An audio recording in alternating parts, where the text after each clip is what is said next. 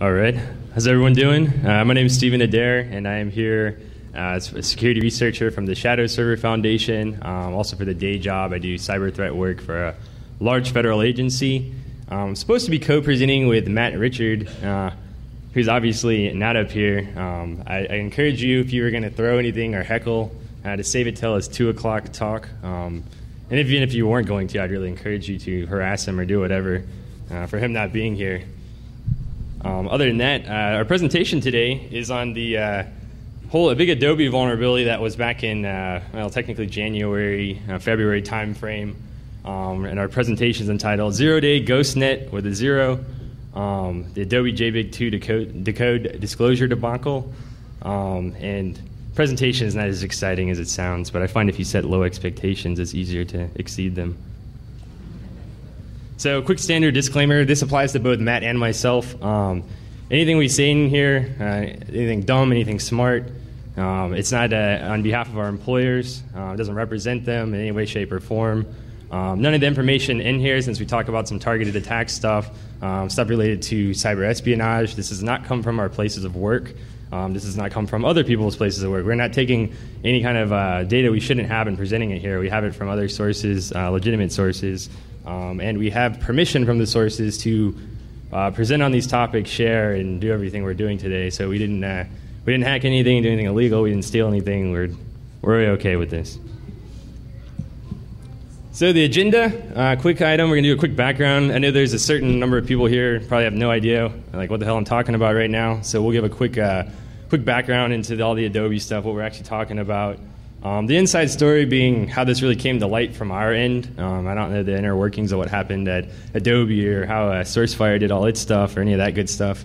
Uh, we'll tie that right into a timeline, uh, largely related. Um, do a little bit of the analysis of some of the malicious PDF, uh, why it's relevant, the evolution of them. This is really uh, Matt's slides, so I'm going to talk to them. Um, if it sounds like I'm making stuff up, it's because I am, just making up stuff. Um, then we'll go into a disclosure, the classic uh, partial, uh, full, no disclosure. Uh, we're not trying to get reinvent the wheel or uh, do any kind of crazy new debate or new take on it, but this this whole uh, this whole incident ended up being a really good uh, example of it. It's kind of a good case study if you want to look at the different types of disclosure options and how it went through all of them, um, and kind of looks at it. Really come to a conclusion whether it's good or bad, what's the right one, but we definitely had some interesting results. Um, and then finally, before we conclude, we'll take a look at what we're calling GhostNet in our presentation with a zero. GhostNet being the report that was put out by the Information Warfare Monitor um, in March of this year, um, and it ties back into cyber espionage. So here's a quick background for some of you who don't know what's going on. Um, it's, I'm not going to go into too long of the details. I'm going to try and speed through these slides since I tend to uh, talk a lot.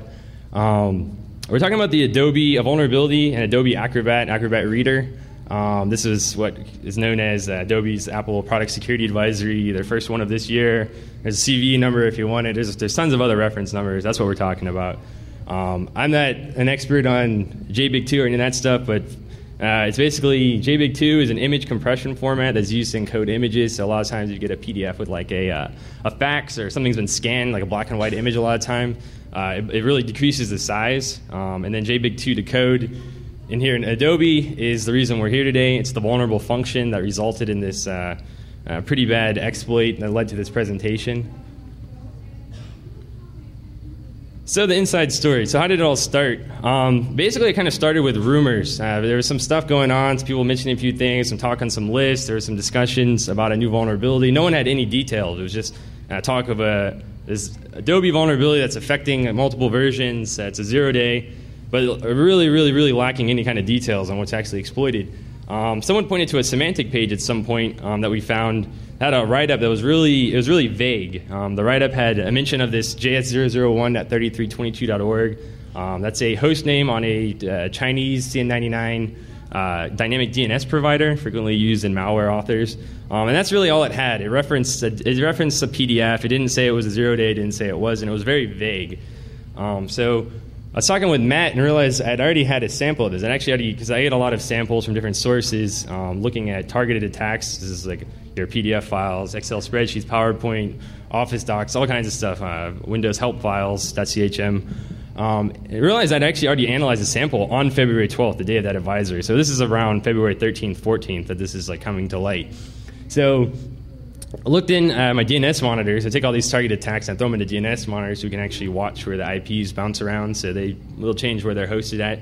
Uh, this one I was already in there, and I could quickly go back through my uh, my repository and see. Oh yeah, here it is. I found it. Grabbed a copy of it. Um, and not say I'm not technical, but I'm not the reverse engineering type. I don't know the breakdowns of like JBig2 decode. I don't do a lot of reverse engineering. That's Matt's area. We were, we were working on that. Uh, sent over to him. Didn't take him t- too long to figure out it was a JBig2 decode vulnerability. This is details that were not out there anywhere. This is we just got it. We just found it. Um, we found it. I mean, someone else obviously found it. We didn't invent it, but we, we found out what it was. So now we had some information other people didn't, and we started looking through our other samples. Started working backwards. We started going through uh, even new ones that were coming in, seeing what other ones reference JBig2 decode um, that are also involved with exploits. Because I mean, JBig2 decode is a legitimate function, uh, but if it's if you open the PDF, it exploits and puts a Trojan on your computer. That's probably not what it's supposed to do in a, in a good way. Um, so once again, at this point in time, there is no advisory, there's no mention, there's nothing public from uh, Adobe. Um, we, get, we ping them and kind of said, uh, "Hey, are you aware of this?" They said, "What are you talking about?" I said, "Hey, this," and they said, "Yeah, we were working on that." And that's around the 14th, I believe, 14th or 15th. So we found some more samples. We, we started working back. Um, ultimately, we'd come. You'll see in the time the, uh, the timeline, which needs to be updated. Uh, when we found some of the earliest samples, uh, but we found more and more people are looking for more and more rumors. People just didn't people didn't know what to look for. It really blended in. There weren't a lot of them out there. This was not a widespread exploit. This was being used very targeted attacks, and even then, the targeted attacks are extremely limited. So people didn't know what to look for. So they just opened up all these Adobe files, and it would look just like any other one. Um, so we then became aware of more attacks. So from our sources, we knew that other people were being hit with this. We knew this was we knew, already knew it was in the wild, but we knew that people were actually being uh, hammered with this exploit. So got a little uh, antsy about that. We're not a big fan of uh, different institutions being hammered with zero day, uh, especially when no one has any information out there to protect themselves. So this is where we opted on the Shadow Server blog to do something we call the partial disclosure. Um, we basically let people know there's a vulnerability. One, we didn't mention the function. We didn't know, know any information on how they could recreate the exploit, but we gave them a solution. We said disable JavaScript. Now you can read tons and tons of people say, "Oh yes, yes." We already knew this. I, I can't remember if we addressed this in the post or not you could circumvent JavaScript, and I think uh, someone, I don't know if it's Immunity or in the Canvas framework, someone actually created something that can do it. But to date, we have never seen an actual targeted exploit that has actually been able to, that actually used a method that circumvented JavaScript. So this solution would work 100% for you, the one that we provided. Uh, to this date, we're not. I'm sorry. I'm sorry. Well, yeah, that's that's a that's another issue, I guess. Well, that's there's lots of Adobe fun out there, but yeah. Another solution that was really good is having if you had DEP on, uh, having that enabled would pretty much stop the exploit as well. Uh, having that on, uh, it would it would crash and everything, but it would actually would not exploit the system. Possible also to probably write something that could circumvent that. Uh, we still have yet to see anything uh, like that in the wild. So this results in uh, Adobe publishing an advisory, which is definitely a good thing. It's kind of what we wanted. Um, but like I said, it, it, they can't put a lot of the details out there. Um, but they didn't put a workaround, and the key component is that it'll be patched in about a month. So that's like that's a long time to wait for something that's already been out for a while. So here's the timeline. Uh, we mentioned earlier the JS001.3322.org. Um, that's on January 6th. That's the uh, we looked through that same uh, that same host name which we hadn't seen before um, in any of our other attacks on our other files we've analyzed. Um, and found on Threat Expert they had a sample from January 6th, um, and then I think another one on January 12th. We don't know that that's related, um, but it, it, we suspect that it could be. There's a couple people who said even going back to December this exploit existed. We haven't found any evidence of that. Um, our first hash from all the files we had, um, we didn't know the date, but we punched them in the VirusTotal. Um, that date actually needs to be corrected. Matt's not here. I blame him again. Uh, January 16th is the first uh, JBig2 decode vulnerable file attacking file that we found. Um, so we know as of pretty much about a, a, month before we posted the advisory, there were active live exploits that were working in the wild. Um, February 12th, we talked about the Symantec post. Had an advisory. Uh, didn't have a lot of details. We suspect they may have been under an NDA. Uh, 19th was our advisory, same day, Adobe advisory. Um, then SourceFire put out a blog which basically uh, detailed the what the actual function was. They then got a copy of it. Um, I think they had it in their repository.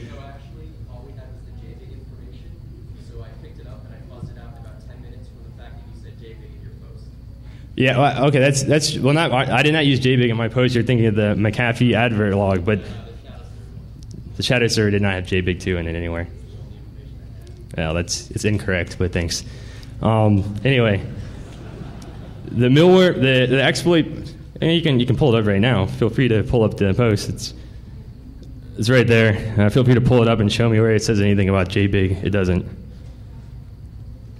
Anyway, um, so we got the the Milw0rm proof of concept came out. Or excuse me, someone else put out the proof of concept. Got picked up on Milw0rm on the 23rd. Um, the SourceFire they put out a homebrew patch. So that was actually uh, something that really helped. They have a they edited they took the DLL file from uh, I don't know exactly what they changed in it, but they were able to make it so if the exploit would load in the in Adobe, it actually would not exploit the system. So Adobe or excuse me, SourceFire put out that, and shortly after they also put out some ClamAV signatures and Snort signatures that would help as well. Um, then also March 5th, we started to see a large increase in JBig2 exploits. Um, this is a number of different modified ones. We'll touch on that in a little bit.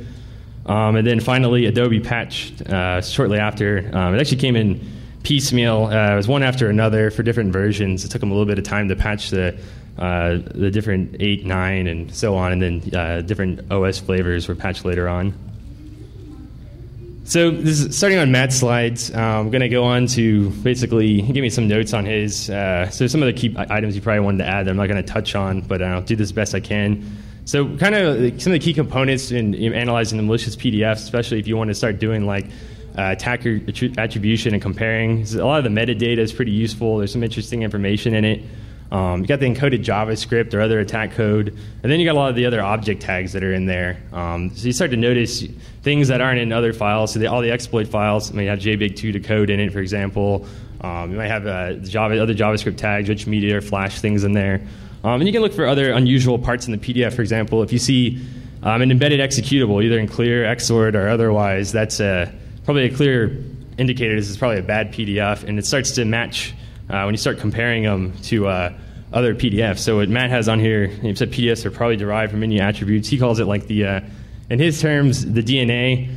There's some there's some parts that you start to see in PDF files that you're not going to see in a lot of others. And if they start matching and you have a lot of matches, they're probably derived from the same initial uh, exploit pack or exploit developer. They're things that you just don't see um, in the wild or in normal PDFs a lot of the time. Um, and then a lot of these also, if you start modifying a PDF like an Adobe, um, a lot of them keep the original content and start adding on to it, so the old stuff's there. Um, and one of the one of the cute items they always have are these timestamps. Now timestamps can always be bogus, but we touch on this because you start to see this. We see this in a lot of targeted attacks that have to do with Adobe, but especially here too. You start seeing GMT plus 0800, which is Chinese uh, time zone. So that's a, a pretty interesting item that you start to see when you start want to correlate where this stuff's coming from. So early PDFs, uh, in his slides, uh, had one or two payloads. Uh, you see on there the uh, the metadata at the top, pretty uh, pretty unique. All these X's, XXX for the email, and then you have X's and D's. This, this is not something that you see very normal, very normally, and then you wouldn't get this on accident. So you start to be able to compare the exploits and the different files out there, and you see a lot of matches. Um, they also use the uh, octal encoding for the JavaScript, which was very large. Um, that's where you have the the backslash and then the three numbers. Uh, that that was a, a, big component that made these files around a little over 800 kilobytes. They're, they're pretty large files. Um, they had, like I said, a lot of unique metadata, and then they had a couple XOR keys that were the same throughout all the different exploits. Um, and like the initial sample that we found that we initially knew of was this JS001.3322.org, and this is this is an example right from it. So from the Symantec uh, advisory, this is, what, this is what we found. We've got the original JS001 from. Um, didn't have a lot of details, was pointed out to us, um, but it did have on here the uh, down on the bottom. You can see the uh, command and control server that it uses. That's how we originally found it. Comparing the VirusTotal data before the 12th, um, there were there were antivirus vendors that would pick up um, these malicious files, but it was not because of the specific detection for this exploit. It was picking up on other things like odd JavaScript or shellcode or other other weird things depending on the variation. Um, so starting about February 12th, we believe it may have been because of under under NDA. I think maybe McAfee and Symantec, I believe, started detecting this, and soon after. Um, the disclosure and additional details from SourceFire, others were able to start dec- uh, picking it up and adding better AV detection. And at that point, the uh, files got shared around a bit more. So the first known malware, like we said, uh, was a, a, a, ghost remote access Trojan. Uh, it beaconed to JS001.3322.org on port 22 or port 220. Um, so the Ghost Remote Access Trojan is a pretty powerful uh, Trojan used by a lot of attackers. Uh, it's, it's out there and it's open. It's available. You can download this uh, yourself and set it up. But it's, it's very frequently used by Chinese malware authors um, and attackers. And what they do, it allows them to get on the system. They can run a lot of functions. They can sit on the computer as if they are sitting at it. They have like full control over the system. It's pretty powerful. Um, and like I said, Symantec mentioned it on the 12th, and then we can see going back to the 6th of January that this very sample, uh, the very same Trojan existed. So, uh, not sure exactly when it first started using the PDF, but we know as of the 12th it did. So the earliest sample we had uh, goes back to January 16th. Uh, this is the, the earliest one we could find. We've, a few people said maybe a week or two before this they had samples, but we haven't seen any. This is the best we can do. Uh, it's pretty much identical to the uh, the JS001 sample we were talking about.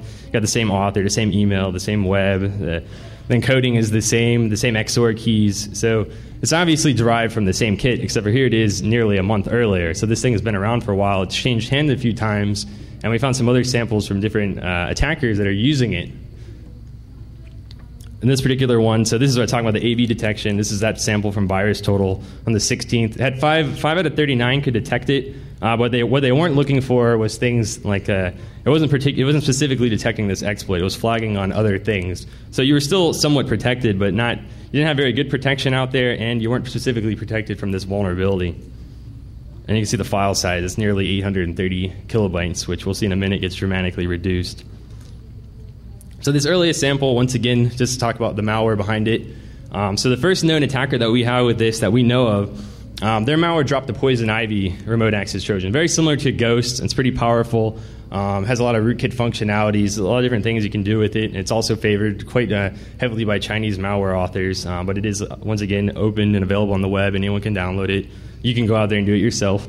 Um, and this sample it connected to a host name called yoyo.networksec.net on port 443. Um, in this sample, we talk about how some are a little more advanced than others.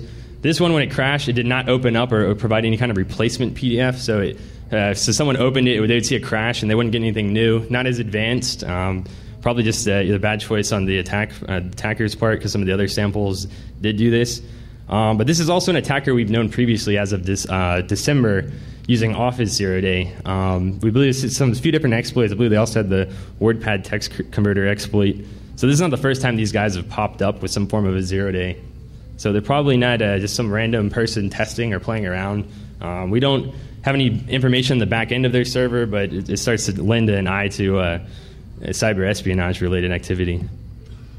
So February samples, this is where the code starts getting a little better. From February 7th and 10th, we start getting some new samples that we looked. So we looked at and see how they start to change. So this is a couple. This is a few days before the uh, still the old the, the, February 12th sample we had that was identical to the one in January 16th. Um, so once again, working off Matt's slides here, uh, you start seeing some of the differences. Uh, PDF header changes. Um, so it has similar heap spray, the same comments in it. So if you looked at the, the code, the actual comments in there were the same. So they were just reusing it. But now the big difference, they were able to dramatically shrink the file because they just used Flate decode. So now instead of having all that gigantic uh, octal encoding in there in the clear, it now is all uh, encoded. So it took up a lot less space. So you went from 800, 830 KB to about 800, uh, 108 KB. Uh, so question is, are these new attackers or just people that took the exploit and are trying to refine it?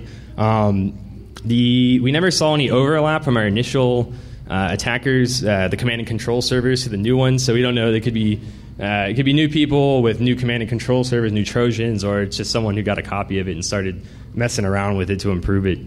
Um, and then some of the PDFs have multiple revisions showing, like I said, uh, what changed in each revision. You can see some of the differences. And once again, if you take a look at the, the bottom there, um, you see the, the attackers, when they started modifying it, they now have a uh, mod date that involves plus 0800 once again. Um, obviously, could be anyone could set that to anything, but that's where we are once again. So code got a little better. AV detection did too. Um, this time uh, they flagged shellcode signatures for a few of them. The other ones pretty much remained the same for the JavaScript. Uh, files a lot smaller. Uh, you take that for what it's worth. So now we can see the attackers are evolving. Um, so we had the initial encode was improved. Uh, we saw the sizes shrink a lot, so it's a lot smaller. Um, and then we saw better attacks. I mean, it's pretty standard operation for an attacker with a uh, targeted Office or PDF or doc file exploit to have a replacement document open. Uh, the initial couple we saw didn't do that. They got a little better.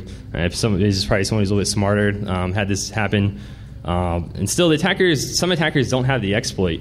Um, so those that didn't have it were uh, still looking for it. So this is the point at which the Milw0rm exploit becomes weaponized. So the Milw0rm proof of concept, it's actually, or the proof of concept itself came out on the 22nd, posted Milw0rm on the 23rd.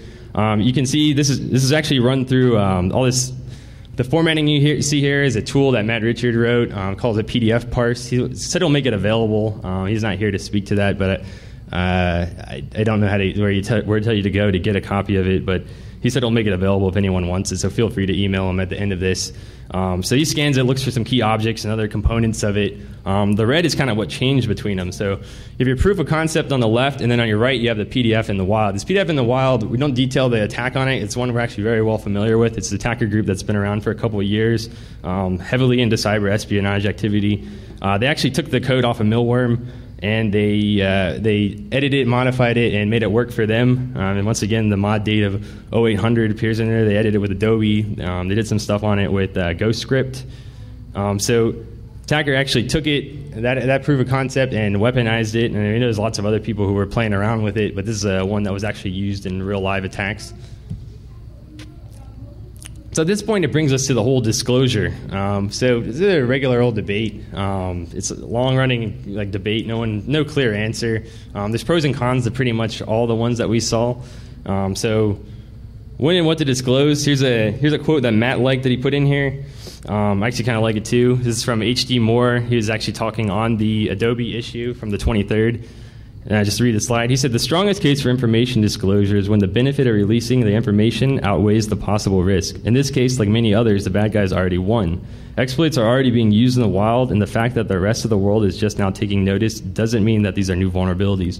And he says, at this point, the best strategy is to raise awareness, distribute the relevant information, and apply pressure on the vendor to release a patch. Especially with the, the last line there, we agree wholeheartedly. I think everyone involved in the disclosure process here was pretty much on the same page with that. So, no disclosure was a major fail.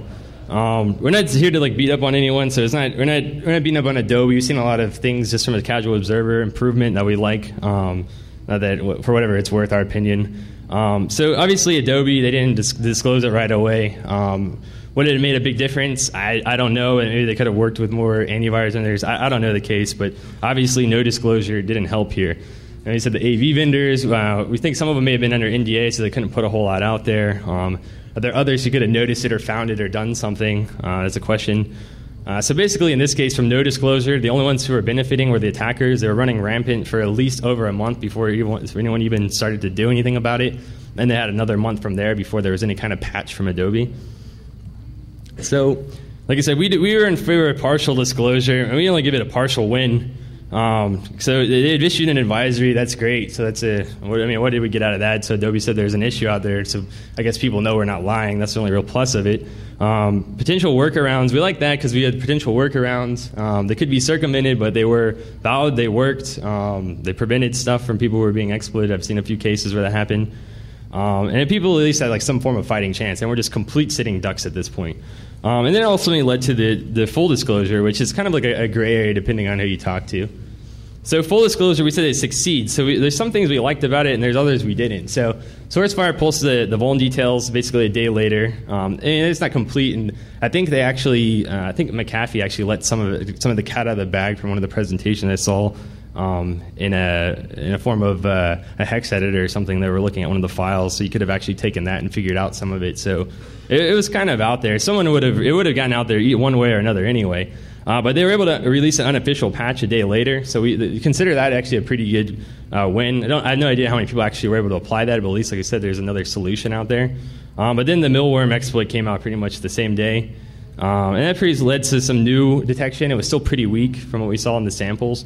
So at least now people are able to better detect it. Probably antivirus detection started improving at this point. More information is out there. More people know what to look for. But this also leads to the quicker weaponized exploit development.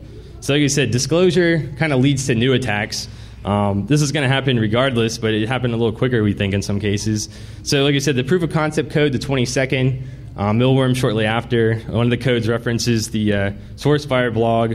Um, SourceFire also released the very next day, though, they got some ClamAV and Snort signatures out there um, that would detect uh, some of the attacks, uh, which would later get changed and they wouldn't be as effective, but that's pretty much the cat and mouse game of antivirus detection. Um, so it takes a little over a week from this point where we start seeing derivative attacks that are modified more and more. So uh, start changing little pieces, start doing different things to avoid detection. Um, and then by March 5th, we basically they said all hell is broken loose and there's massive uptick in attacks. Basically, I think because a lot of people knew the impending uh, patch was coming out, they really started firing them out there. We saw a massive increase in the number of exploits coming in. So signature power. So this is the some of the signatures. Um, I believe Matt got Matt posted these on here. I think they're the ones uh, SourceFire put out for the Clam AV, and I believe this may be their um, Snort signature. So what it does is they look for the uh, a lot of times they look for the JBig decode, the stream followed by the um, carriage return and the line feed. Uh, but the PDF spec actually allows just a uh, carriage return without a line feed, which is one small issue for things that started evading detection.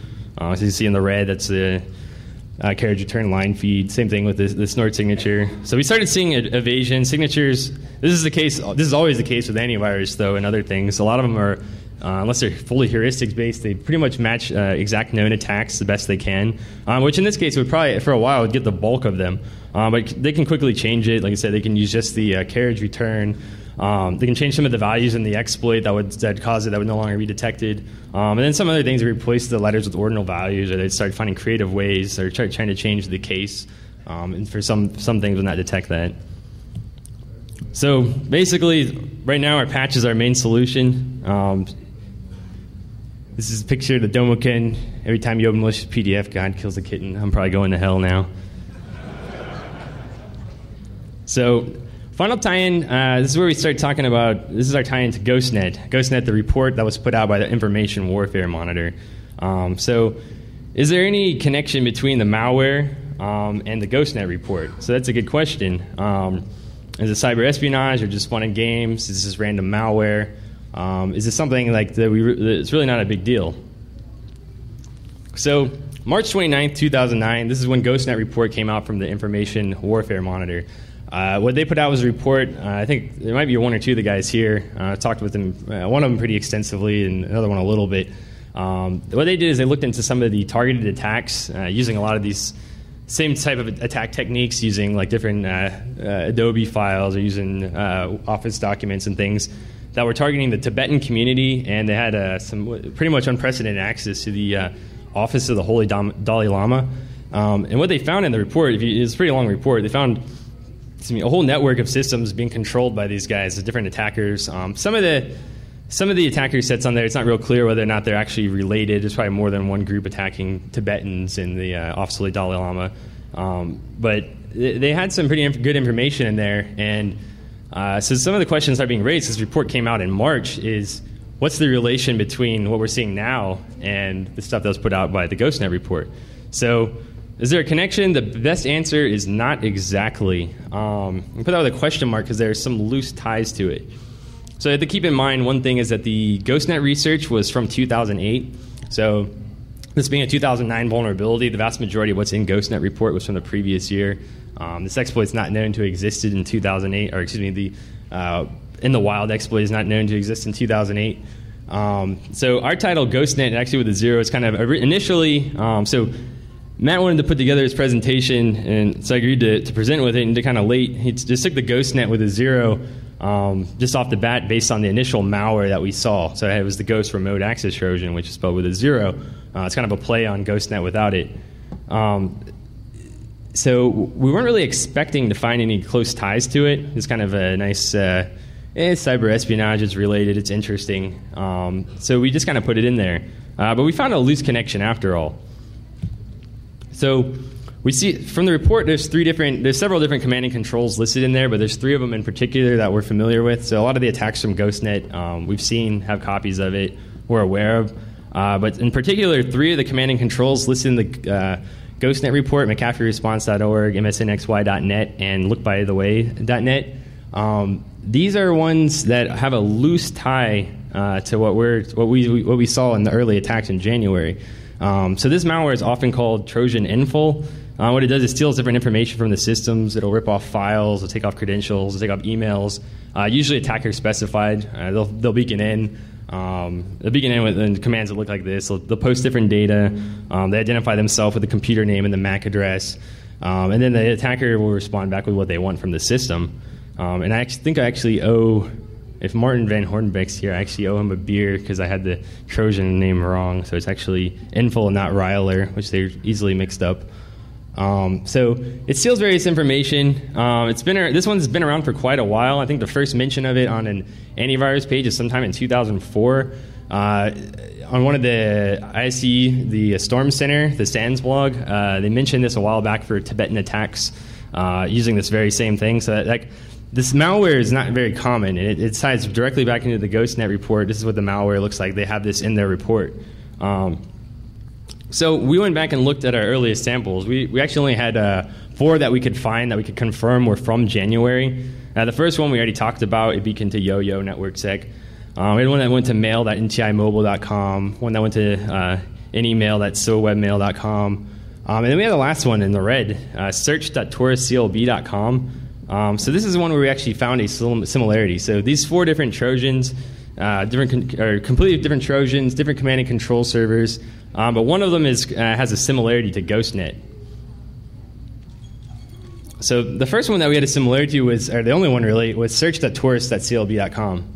Not only is this uh, one that had a similarity, it's one. It's a known command and control to us. It's one that we've seen before. Uh, we've seen it in other attacks. It's the Enfal Trojan. Like I said, this is a very uncommon Trojan. There's only, uh, in terms of total number of IP addresses dealing with, probably seen less than uh, at a given point in time active less than ten. This is very uh, pretty much seen in a lot of attacks originating and coming from China, uh, usually against the Tibetan groups, but we also started to see some other stuff. Like we said, uh, it shares IP's address. So this host, we have several other command and controls we know of that are on the same IP address is search.taurusclb.com. And these are all hosts that we know, and, a couple of them have been involved in attacking uh, enemies of the European Union. So they've gone directly after EU and European hosts. So this starts to be a, a decently interesting and strong uh, cyber espionage tie-in because this thing is being hosted on the same box we know has been attacking uh, EU entities with different targeted attacks, different exploits. So, so like I said, search here's from our DNS monitor. Search.Taurus CLB is hosted at this very moment. Uh, I've had a few different IP addresses over time at 60.10.4.94, Chinese IP address. Um, there's a few other hosts, blueandnt.com, uh, ggssddup.com. If you do a lot with the targeted malware attacks. These are probably ones you probably come across at some point in time. Um, this is that Trojan, very uncommon. Sharing IP addresses with these. So some other, so just taking some of the file names. Uh, sometimes we have file names, sometimes we don't. Um, you can look at some of them having to do with Brussels, exhibit invitation, Sweden, uh, public planning for the public procurement. These are not like uh, you're running the, some of them are not run of the mill. Uh, a lot of them, if you open them, they would crash. Like I said, they'd open a new file. A lot of those new files had specifically to do with uh, European conferences or things going on in different parts of Europe, whether it was Sweden, um, Belgium, other other places, Germany. So these are uh, very in line with one another from the di- across the different domains that were attacking other uh, EU entities. So we saw anything. A lot of them were like JBIG2 decode exploits, but even one of them was an older PowerPoint exploit. we go back further. I think we have some samples that attack like uh, MS-06, uh, different Word doc vulnerabilities. So some of these have been around for quite a while, and they've attacking quite a, a number of different things. So we started to get to cyber espionage in JBIG2. Um, we know that even the earliest of JBIG2 samples um, can be tied back to what we were sure cyber espionage. So there's a, there's a number of them where there's even a few samples where uh, we've been provided information on the back end. We know who's been targeted. We've seen the infected host. So we know some of these have definitely been used to attack uh, financial systems or foreign governments, things like that. Um, and many other samples are related or other known attacks, like the, the pass screen. Um, we're going to talk about in a minute. I'll go back to the JS001, uh, another item we've seen from that.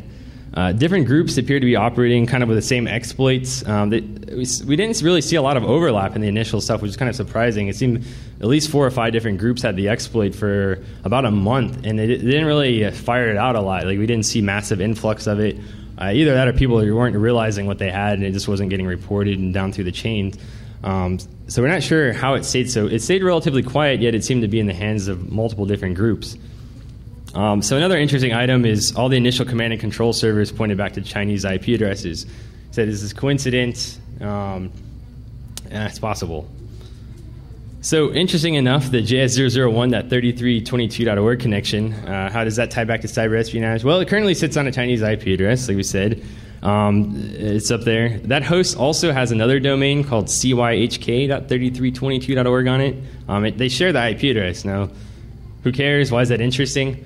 Well, the reason that's kind of interesting is there's re- multiple reports out there. One of them was put out by Symantec um, that in April 2008, there were email attacks against Japanese businesses um, that were purporting to be that were spoofed from the Japanese government, and if they uh, succeeded, they beaconed back to the CYHK3322.org host name, uh, which now also shares an IP address, most likely run by the same attacker uh, that runs JS001, our guys that had the uh, one of the earlier people to get the JBig2 decode exploit. So this is a look at. Uh, we took a it took a sampling of about 82 different uh, host names that were involved in uh, JBig2. There were host names that came as a result of JBig2 uh, PDF files that exploited, um, and took the IP addresses that they bounced around to over the period of time. So, like, like sometimes some people will change every couple days. Uh, some of them since February have been on the same IP address till today. As so you got a mixed bag.